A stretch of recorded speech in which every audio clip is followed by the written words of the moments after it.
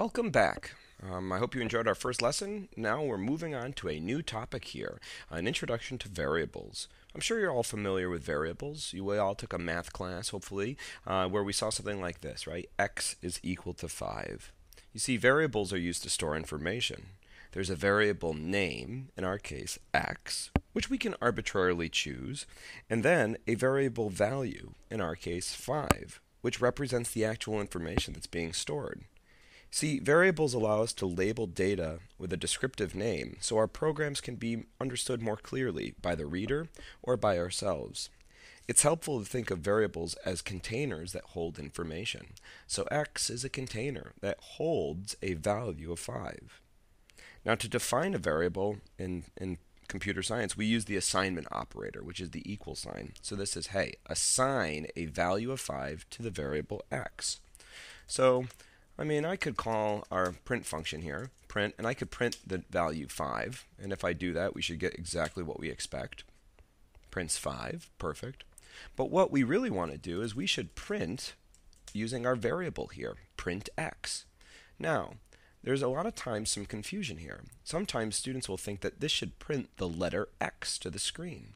But if we check here, what this is going to do is instead of printing the variable's name, x, it actually prints the variable's value, 5. And that's because variables are containers, right? When I say, hey, print the variable x, it says Python, find the variable x, see the value that it contains, and print that value. This is very different than just printing the letter x. So if I put the letter x inside of quotations, this is not a variable. This is a, what's called a string, something that we're going to talk about soon. So if we run this now, we see that our letter X gets printed. Perfect. So we can store more than just mathematical concepts or numbers, though. We can actually store messages or strings inside of a variable. So for instance, I can overwrite my value of x here. Let's just say x is equal to hello world. And then I can call print, and I'll print x again. If we run this,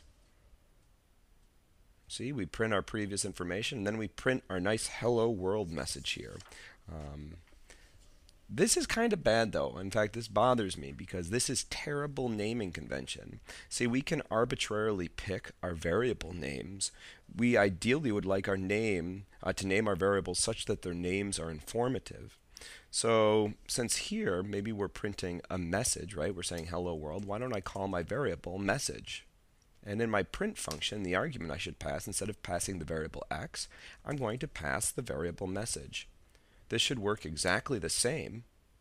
And in fact, it does. We see hello world being printed to the screen. But now this is a much easier code to read with informative variable names. The variable name here is message and the variable value is hello world. So when I call the print function, I pass the function the argument of the variable name message, and it in turn accesses the variable value of hello world and displays it to the screen. We can now update the value of a variable by using the assignment operator. So now I'm going to say, let's make message equal to goodbye cruel world. Little sad there, but now if I print message, it should, let's check, it prints the value of message right here. When message is equal to hello world, it prints that on line 10. And then we overwrite the value by using the assignment operator to goodbye cruel world, and it prints it again on uh, our print call line 13. Let's purposely make a mistake now, right? So let's say here in, in line 13, instead of printing message, let's print um, Masag, right? We forgot the E. So if we do this, note, note the output here. When an error occurs in your program, the Python interpreter does its best to try to help you figure out where the problem is. Um, the interpreter provides a traceback when a program cannot run successfully. A traceback is essentially like a record of where the interpreter ran into trouble when trying to execute your code. As you can see here, it says the variable name masag is not defined. And this is because our variable is, is named message. We actually spelled our variable's name wrong. Um, A name error occurs when an object's not defined. And we're going to use these error messages to help us debug our code.